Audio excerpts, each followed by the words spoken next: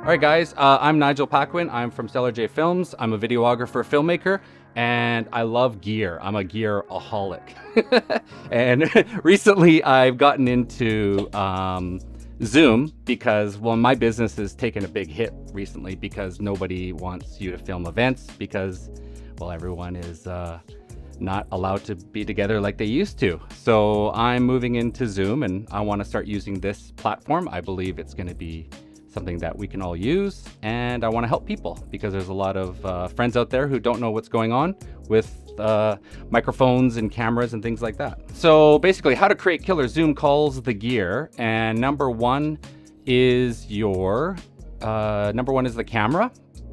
And most of us have laptops, I believe. So we're going to look at laptop cameras, webcams, smartphones, DSLR, micro four thirds, and capture cards and I'll walk you through sort of, you know, the overview of what you can use with these. Okay, so the first one is a MacBook. Most of us have MacBooks or, well, not all of us have MacBooks, but I have two MacBooks in my house myself. And the camera is pretty good. It's a 720p camera. Overall, the camera is not bad. I, I'm I'm a bit of a stickler. I don't really like it so much, but if you're in a if you're in a pinch, you can definitely use it. Um, it can get the job done.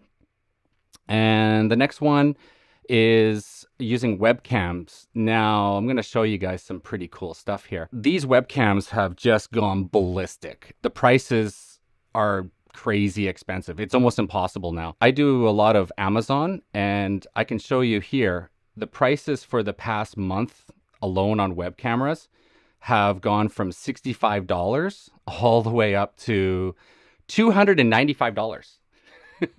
and the peak it's sitting right now at around 235 so to be honest i would stay away from webcams because the price has just gotten insanely expensive.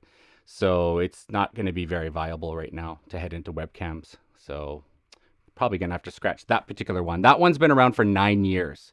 So it is an extremely popular uh, web camera from logitech the other one is another Logitech again. This is considered a really good one, but again, the price has just gone from $89 to an amazing uh, 299 and 309. If you're wondering why the price goes up, it's called retail arbitrage. The people who own these products or have these products in stock are jacking up the prices. And unfortunately, there's nothing you can do. Amazon is trying to stop this, but uh, it is price gouging and it's been around for as long as you can imagine. The next one is uh, this is kind of like an off brand shoot model. I'm not familiar with it, but it's called Each. And this one kind of has your microphone, has everything all sort of set to one. It's number one in webcams, probably because the price is so cheap at $57. And the price before was 29 and slowly that price is going all the way up to $54. So if you guys are interested to know how to install this, this is called the Keepa plugin. And what it does is it puts the plugin into your Amazon and it allows you to see the price history.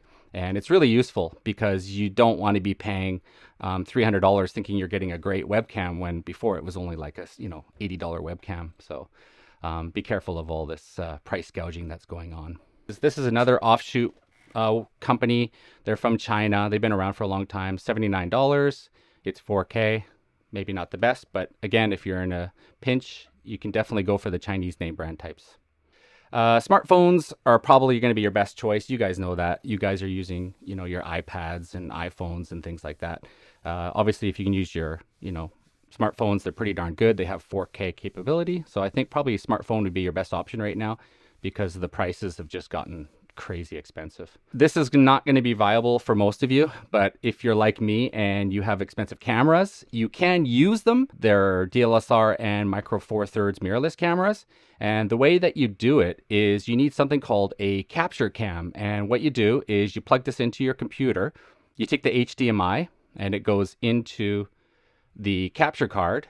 And then from here, you can basically take your camera plug it into your laptop and use it as a webcam. And here you can see a bit of a before and after. So that's before and that's after. Um, the quality is really good. I mean, it's it's basically if you see those uh, video game guys and you, they're playing video games all day long on YouTube and things like that, that's what they're using are these capture cards. There's just one problem. Uh, capture cards have again gone from the previous price of $129 all the way up to an amazing, oh, well, the price went up to $449. So this is not going to be a viable option to buy the best one on the market, but there are some offshoot uh, types. Uh, these ones are kind of the Chinese imports, and these ones are about $109. Uh, you can buy them in Japan for around uh, 12,000 to 15,000 yen. I spent about 15,000 yen on mine, and it's from Taiwan. And it's what I'm using right now, actually. So that's the capture card I'm using. And this one's pretty good, has some pretty good reviews. All right, so that is the overview of webcams. Uh, do you guys have any questions? Please shoot away. Go ahead if you have any questions, please. Um, my husband is a professional photographer. You know that. Yeah. And, uh, but it's a big ass camera. well, if you get yourself a uh, capture card from Amazon Japan for around 15,000 yen, 12 to 15,000 yen, you could actually use that DLSR camera. Mm. So it's, a, it's an option maybe you never thought about. No. GoPros could also work if you want to slap on a GoPro if it has an HDMI in you could actually use a GoPro camera, which is maybe you never thought about it. Maybe you got an old GoPro just sitting around the house. Uh, number two, uh, microphones. Uh, we're going to look at polar patterns, and this is how microphones uh, take the uh, what do you call it? The incoming sounds and the patterns that come into the microphone. Uh, we're going to be looking at laptop onboard microphones and headsets, smartphone earbuds, headset plus a built-in microphone, lapel mics, mini shotgun plus some extras, tripod or desk boom stands, USB studio condenser mics, and audio interfaces. So the first thing you have is what we call the polar patterns. And before you buy, you know, expensive mics, you like to know how it interprets the sound. You have omnidirectional, subcardioid, and cardioid microphones. The microphone I'm using right now is called a shotgun microphone, and this is the one down here. That's where that's how you get that really crispy sound, and it's really good for interviews, and it works pretty good for my you know setup that I have here. It's a bit overkill for you guys. I don't think you'd want to use something like this, but uh, again, cardioid is what you want to be using. If it's shaped like a heart, then that's that's good because it gets rid of the sound that's in the front of the mic and it only accepts the mic that's coming from the back.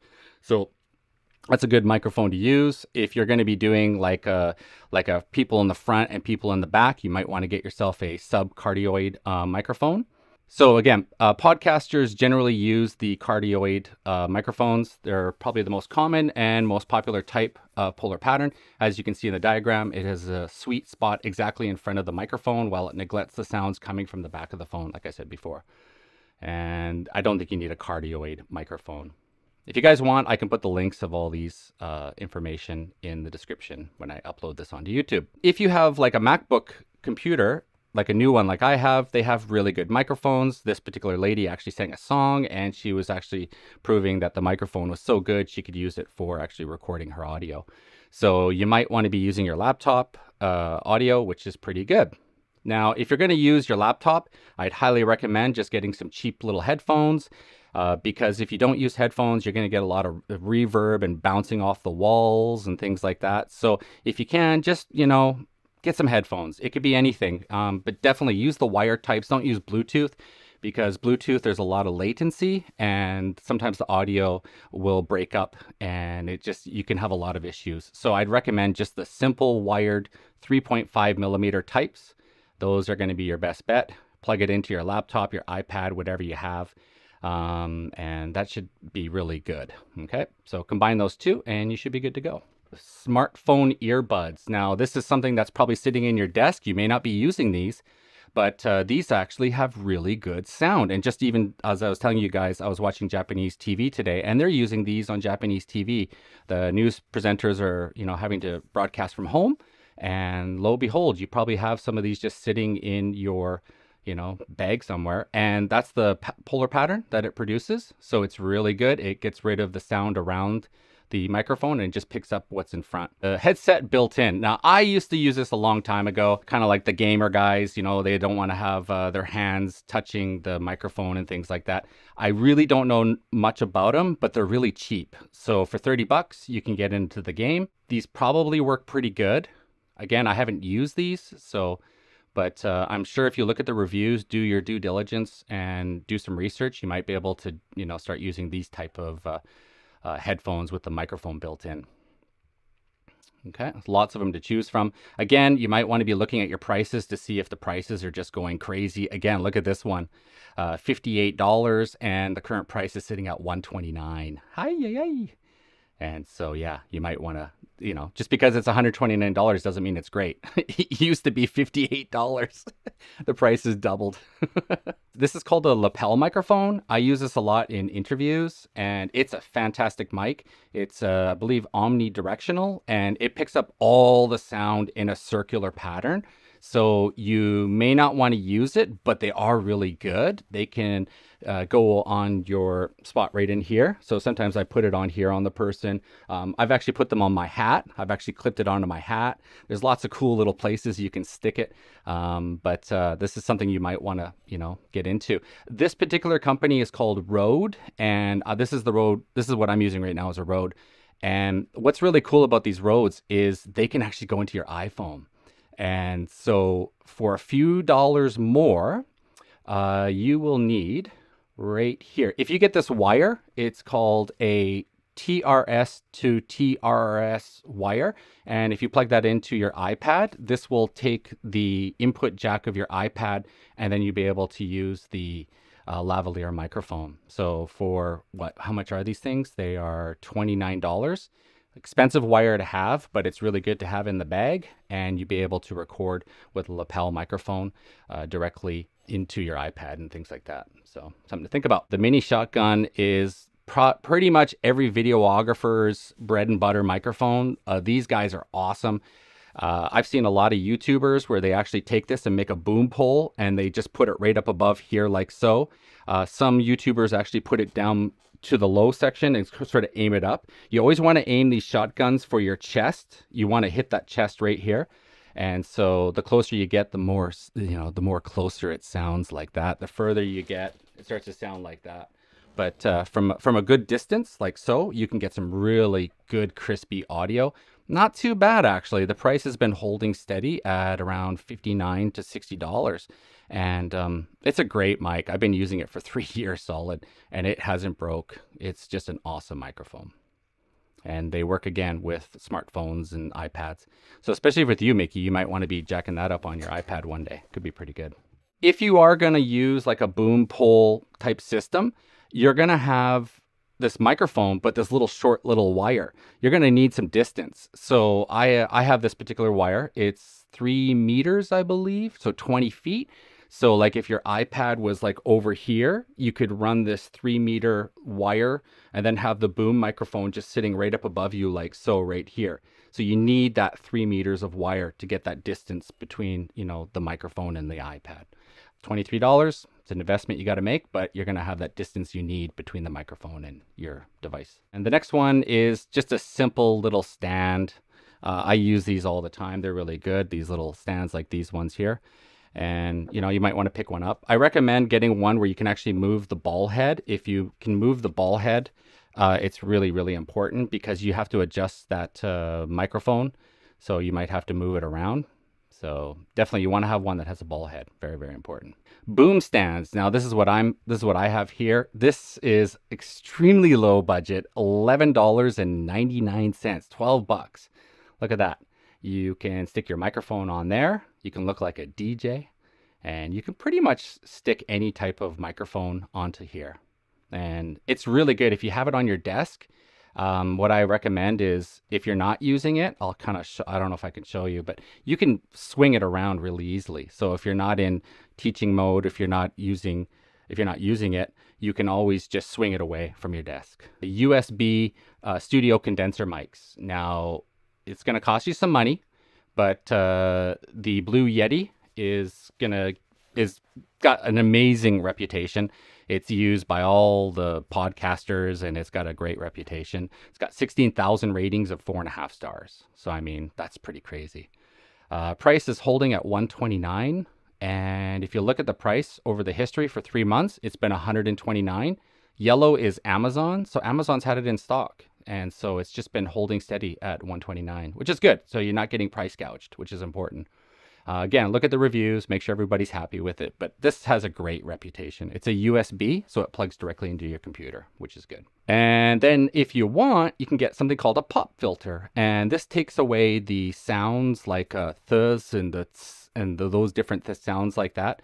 And so for, you know, about 20 bucks, 25 bucks, you can put a pop filter on. But uh, personally, I don't use it, but if I do voice narration, I love using the pop filter. Gets rid of all those sounds that I told you about. Finally, the last thing you might want to think about is getting an audio interface. These things are amazing. You can plug in your microphones and you are able to control your gain and all your different sounds and uh, it's that's the, what I'm using right now is the UR12 and the reason why I use it is because of this XLR cable this particular three pin type microphone input here my MacBook can't do this but if I plug in this type of microphone here then I can start using um, XLR microphones and then I can control the gain and you know the monitor all the audio and things like that so um, you know this is a bit of overkill for most of you but if you are wanting to up your game you might want to get an audio interface all right, Mickey, what'd you think?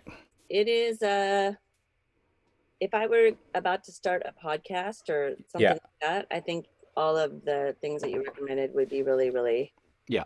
key. Um Yeah. but it's nice that you can, you know, just look at your your i iPhone headphones and try to use that. I think I'm gonna try to get my students to try to do that more so. Yeah, this yeah, that's a great idea. Yeah, just get your students get pull out those old iPhone wire, uh, old iPhone headphones and stuff.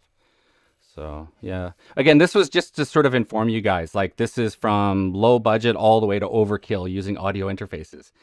I, I highly recommend install the um, Keepa app on your Chrome, and it shows you all the price history. It's like the stock market of Amazon prices. And before you make a purchase, don't just accept what Amazon has, man. You know, like, oh, it's $130. It must be amazing. No, it's gone up three times. so, you know, don't don't let Amazon dictate those prices because it's all price gouging right now. So lighting, uh, window lighting.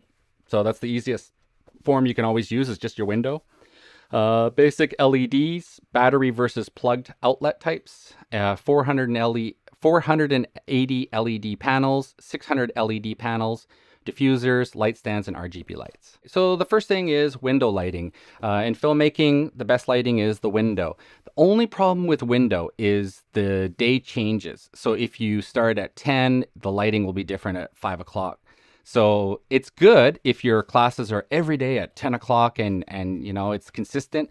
But if you've got that evening class, you can't use the windows. So um, also clouds can affect obviously the light that's coming in. But uh, if you you know if you're by like a sunny window every single day, you can always use your window. It's free. Next one is um, just basic LEDs. They're really inexpensive now because China has flooded the market, of course. Uh, the thing you need to know is if you're going to buy these LEDs, you're going to see these little battery options here. Um, the problem with it is these batteries don't last at all. Uh, the batteries themselves are really low ampage.